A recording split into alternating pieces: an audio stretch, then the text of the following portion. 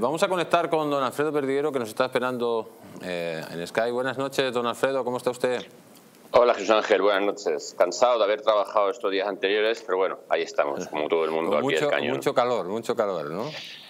Demasiado, demasiado y además le digo que el calor no se afecta a la gente, a la crispación, a la, bueno, pues al estado de nervios, pero le puedo asegurar que la gente en la calle está muy alterada porque tenemos un índice de detenidos eh, muy alto, muy elevado. No sé, ya digo, como consecuencia del calor, de la mezcla del calor con el alcohol o de las cabezas que no andan bien con el calor y el alcohol. Ya le digo, no sé, la mezcla, pero cualquiera de las tres situaciones,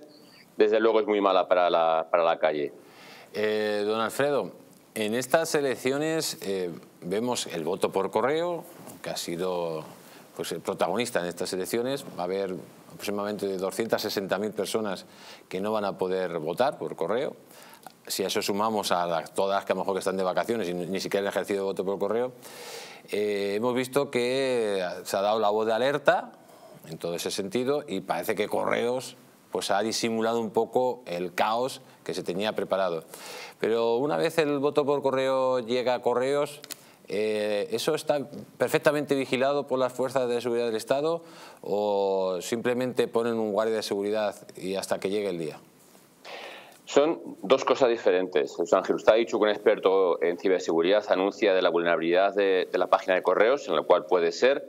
pero es lo que sí que me dicen los compañeros de correos, nosotros no estamos en, ese, en esa custodia, simplemente son los funcionarios de correos, que desde el momento que el ciudadano deposita su sobre eh, allí, eh, se custodia eh, en, jaulas, en cuartos, en situaciones especiales y cerrados, el cuales evidentemente no tiene acceso nadie, y que una vez que se distribuye, se lleva a la mesa o cada mesa electoral en virtud de lo que es. Y eso ahí sí que no hay ningún ningún problema porque el funcionario de correos lo que hace es depositar en cada mesa los eh, votos que corresponden o las direcciones que corresponden a esas mesas. Te digo, una cosa es eso, eh, la vulnerabilidad de la, de la, página, otra cosa es la cantidad de gente que no pueda votar. Evidentemente, yo no sé, eh, desde minuto uno todo el mundo dijimos que esta fecha era muy mala para todo el mundo, ya sea socialista o seas de otros partidos, pues evidentemente le venía muy mal. Sí que es cierto, le digo igualmente, que hay mucha gente cabreada, muchísima gente cabreada, Jesús Ángel, tanto un lado como otro, por eh, coger esta fecha. Eh, le puedo asegurar que mucha gente con la cual les habla eh, dice que va a hacer el esfuerzo de venir a votar ese día para que evidentemente no le quiten o le cercenen ese derecho a la votación.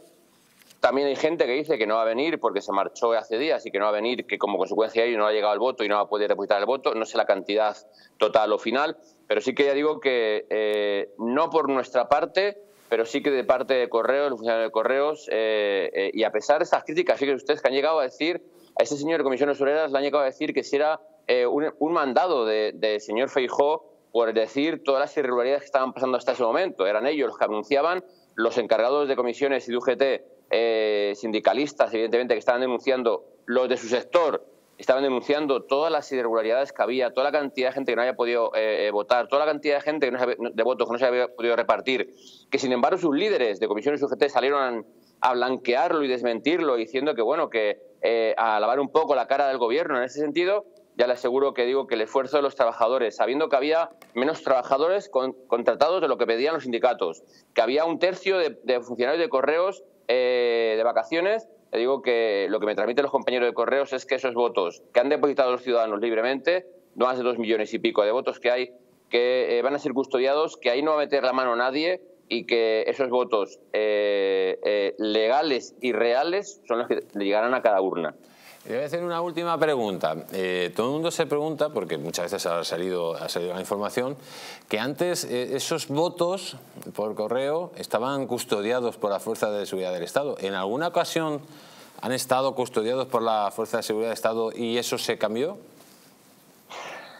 Hasta donde llega mi raciocinio, Jesús Ángel, tengo 37 años eh, de antigüedad en este cuerpo, en la Policía Nacional,